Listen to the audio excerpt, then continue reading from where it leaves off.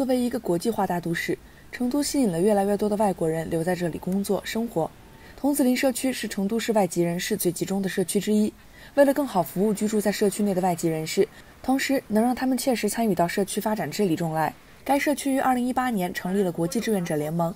2020年新冠肺炎疫情爆发，不少国际志愿者们挺身而出，站在了抗疫一线。来自斯里兰卡的沙浪就是其中一员。疫情期间，沙浪选择了留在成都，并主动加入了社区的防疫志愿队，为刘荣的外籍人士提供服务。因为部分海外媒体对中国疫情的报道有失偏颇，让沙浪远在海外的亲友很是担心。于是，在疫情期间，沙浪拍摄了不少视频来告知他们自己生活城市的现状。同时，他还利用自己精通中英双语的优势，在网上发布英文资讯，让海内外的外籍人士能及时了解中国疫情防控工作的进展。I think the main purpose uh, for uh, recording all of these uh, events is that we really wanted to show people, you know, back home in our country, so for friends, that that you know everything is safe here. The government and the people are doing everything they can to uh, protect everyone. And because there is also a lot, a lot of negative news online during this time, especially abroad, and a lot of their ideas come from. Uh, you know, from information that has, you know, no base, no real facts.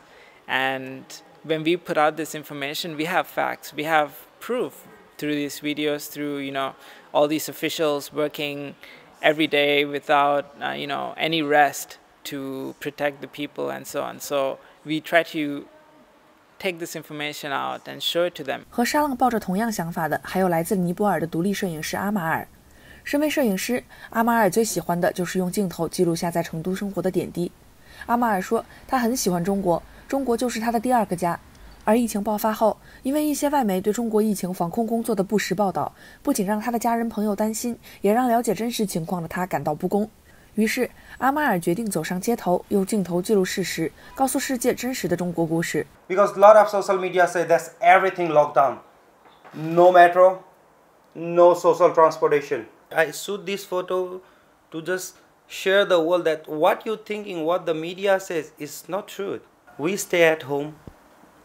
because to other people's safety to not the virus spreading the world spreading anywhere so we just like stay at home following what the government says those type of things 着名景点公共交通枢纽菜市场阿马尔拍摄的都是疫情下最能展现民众生活状态的场景 every people say is you cannot buy anything they are way too expensive you couldn't find even anything to eat daily supplies. What is this? I mean, the street was empty. People are go out in Delhi to go buy their daily supplies. But in case the price are nothing changed. It's a normal price. You can see this is the reason why I took this photo with every single price tag, you know. 自农历新年第一天至今，阿马尔已经拍摄了数千张照片，其中还有不少照片被外媒采用。沙浪发布的视频也受到不少海外观众的欢迎。 他们都表示，未来他们还会继续向世界讲述真实的中国故事。And I have did it before, and I will do it in the future, because I have like a lot of series during the Chandu. I mean Chandu daily lifestyle. But I, I hope I no need to do this because I don't want the COVID return in China again.